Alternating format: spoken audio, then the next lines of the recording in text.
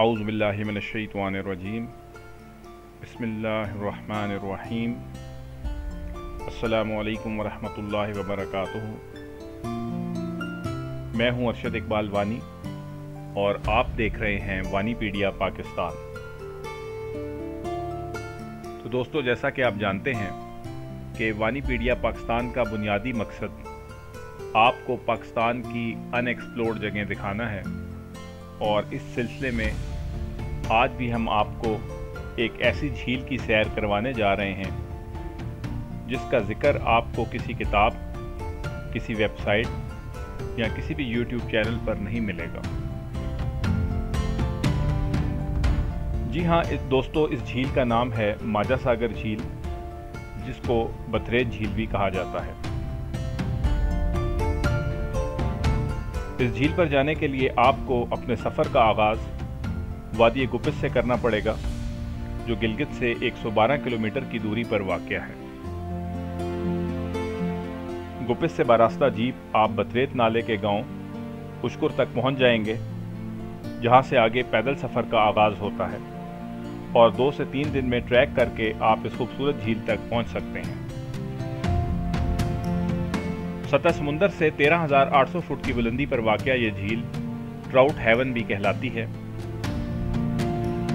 झील की लंबाई एक शरिया आठ किलोमीटर के करीब है और ये गिलगित बल्तिस्तान की बड़ी अल्पाइन लेक्स में शुमार होती है। इस झील का ट्रैक बेनतहा खूबसूरत सरसब्ज फूलों से भरा हुआ और दिलफरेब मीडो से मुजयन है।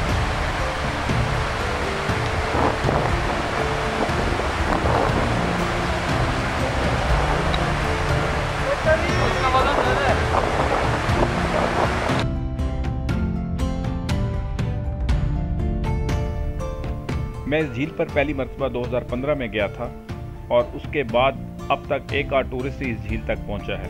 और अभी तक ये झील टूरिस्ट और ट्रैकर्स की नज़रों से पोशीदा है। इस झील तक पहुँचने के बहुत से रास्ते हैं, लेकिन सबसे आसान रास्ता गुफे से होते हुए बजरिया पतरेत नाला है। बाकी रास्तों से इस झील तक पहुँचने के लिए आपको कोई ना कोई पास यानी दरा क्रॉस करना पड़ता है। और जैसा कि आप जानते हैं कि दरों को अबूर करना इतना आसान काम नहीं है, जबकि इस रास्ते से आप बग़ैर कोई दर्रा अबूर किए बसानी यहाँ तक पहुँच सकते हैं।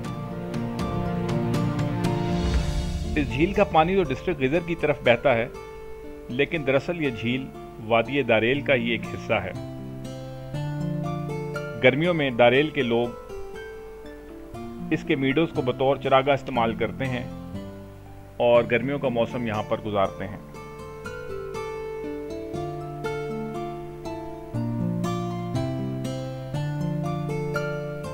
इस झील का गुपिस से फासला 95 किलोमीटर है, जिसमें से 53 किलोमीटर जीप ट्रैक और 42 किलोमीटर पैदल रास्ता है। आप अपने पैदल सफ़र का आगाज़ उशकुर से कुछ आगे गोलोगा नाले के करीब से करेंगे जिसकी बुलंदी 10,200 फिट है जबकि झील की बुलंदी 13,800 फिट के करीब है। यानी 42 किलोमीटर में आपको तकरीबन 3600 फुट की चढ़ाई चढ़नी है जो बिल्कुल आसान है और हर कोई इसको बसानी कर सकता है।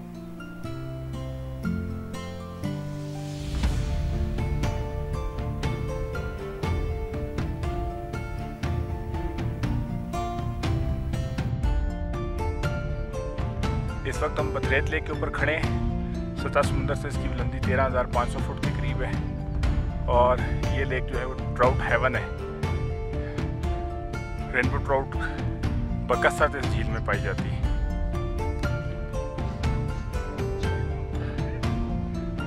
ये सामने आपको झील की रियर साइड नज़र आ रही है। बैक साइड पे आपको एक ग्लेशियर नज़र आ रहा है, जिसको मैं फोकस करके दिखाता हूँ। ये हमारे कुछ साथी दारेल वाले जो हैं हमारे लिए ट्राउट फिशिंग का इंतज़ाम कर रहे हैं। हाँ जी। हसन भाई आप कोई कमेंट देना चाहें तो सामने आके कोई कमेंट दें जल्दी से। ये एक बहुत खूबसूरत जगह है जहाँ सैर के लिए आना चाहिए और इसके लिए करना चाहिए। और वैसे तो सेहत के लिए बहुत कुछ सलमान भाई। यहाँ की सेहत के लिए इस तरफ़ आके आप भी कुछ दो चार अल्फाज बोलते हैं आमिर भाई इस तरह आ जाए।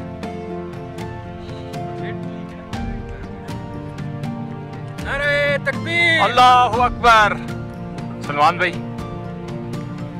पाकिस्तान जिंदाबाद पाकिस्तान जिंदाबाद सफ़ी भाई मैं तो ये शुरू से लेके जो दुनिया पैदा की हुई थी हमने कुछ और बना दिए एटम बम कुछ भी चीज़ें बना के दुनिया को तबाही के दाने में ले आए हैं ये देखें ये चीज़ें देखने के लायक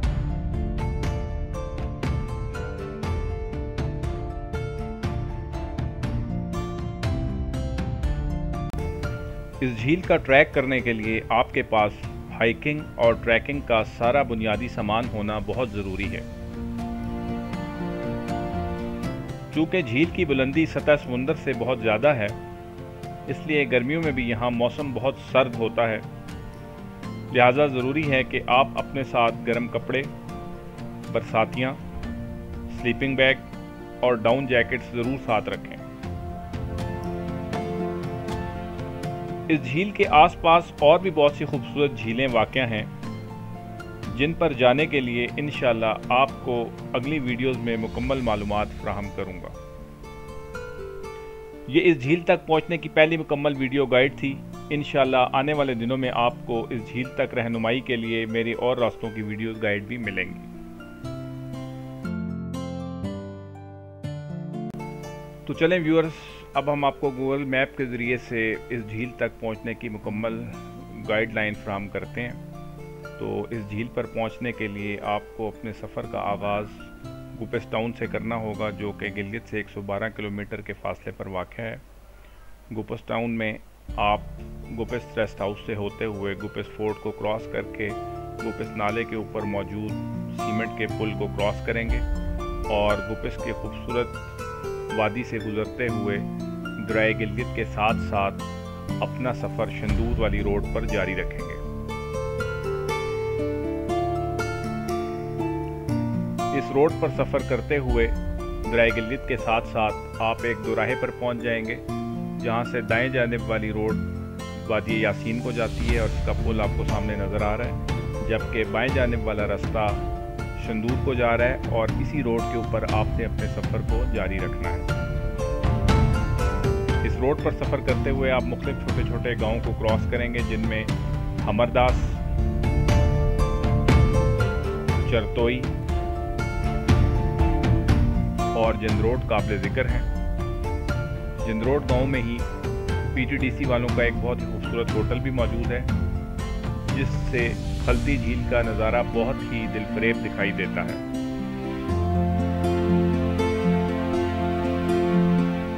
खलती झील द्राय गिलगित के ऊपर ही बनी हुई है और रोड के बिल्कुल साइड पर ही वाक़ है।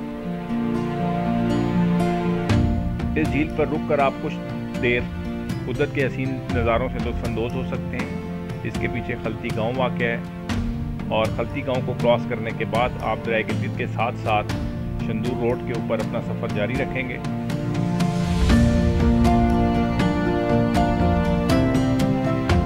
और फिर हल्दी से तकरीबन 14 किलोमीटर का फासला तय करने के बाद आप दहीमल के खूबसूरत गाँव में पहुँच जाएँगे। दहीमल एक बहुत ही खूबसूरत गाँव है और इसी गाँव के करीब बथरेत नाला द्राय गिलगित में आकर मिलता है। यहाँ से आपने अपना सफ़र बथरेत नाले के अंदर करना है और आपने मेन रोड को छोड़कर बथरेत नाले में जाने वाली कच्ची सड़क पर अपने सफ़र का आगाज़ करना है।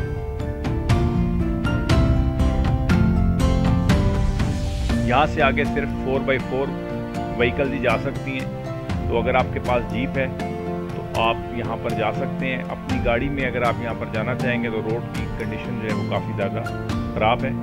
बदरेत नाला शुरू में तो बहुत तंग है, लेकिन आगे जाकर ये बहुत वसी अरीज हो जाता है और बहुत ही खूबसूरत दिखाई देता है और आप हैरान रह जाएँगे कि रोड के करीब तो ये इंतहाई तंग है। लेकिन जूँ जूँ आप इस नाले में आगे की तरफ़ सफ़र करेंगे, ये वसी से वसी होता चला जाएगा और इंतहाई खूबसूरत मीडोज़ के ऊपर मुश्तमिल है। बथरेत नाले में सफ़र करते हुए आप मुख्तलिफ़ छोटे छोटे गाँव देहात से गुजरेंगे, जिसमें सबसे पहले नौलती, उसके बाद बथरेत नाले के साथ साथ ही एक और खूबसूरत गाँव आगे आएगा, जिसका नाम बल्थी है।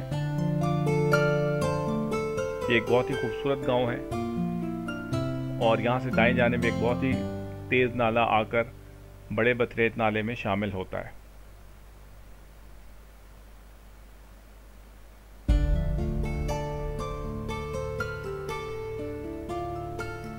बल्ती के बाद आप अपना सफ़र इसी कच्चे रास्ते के ऊपर बथेर नाले के बाएँ किनारे पर रहते हुए करेंगे और हमरन के गाँव तक पहुँचेंगे, जिसका फासला बल्ती से पाँच किलोमीटर के करीब है।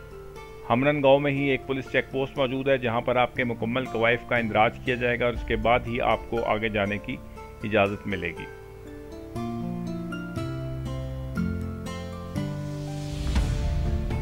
हमरन के बाद आपकी अगली मंजिल उशकुर है, जो कि हमरन से पाँच किलोमीटर के फासले पर वाक़ है।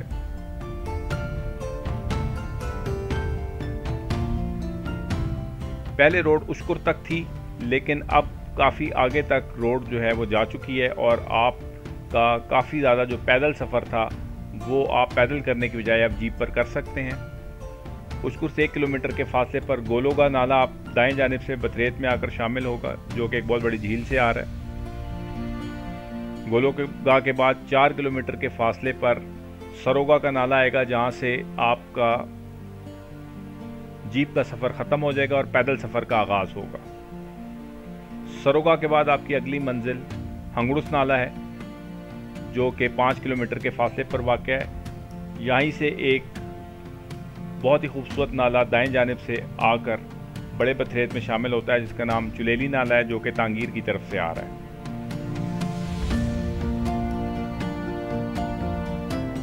हंगड़ूस के बाद आप श्रीनाल चौकी के ऊपर पहुँचेंगे। यहाँ पर भी पुलिस की एक चेक पोस्ट मौजूद है, जहाँ पर दूसरी दफ़ा आपके एक वाइफ का इंदराज किया जाएगा।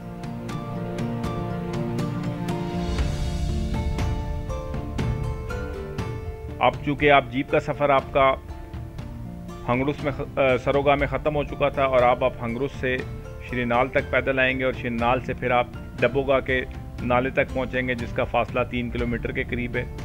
डबोगा के बाद आपकी अगली मंजिल कस्पूरा गाह है, जिसका फासला यहाँ से चार किलोमीटर है। कस्पूरा गाह के बाद आपकी अगली मंजिल मशतगुन नाला है, जो यहाँ से तीन किलोमीटर के फासले पर वाक़ है। उसके बाद मुख्तलिफ़ छोटी छोटी बेकें आएँगी, जिसमें गुल मोहम्मद दी बहक, जो कि तीन किलोमीटर। उसके बाद फिर आगे रोशनगा नाला आएगा, जो कि एक किलोमीटर के फासले पर है, और उसके बाद जो है वो शंगा नाला आएगा, जो कि दो किलोमीटर के फासले पर है।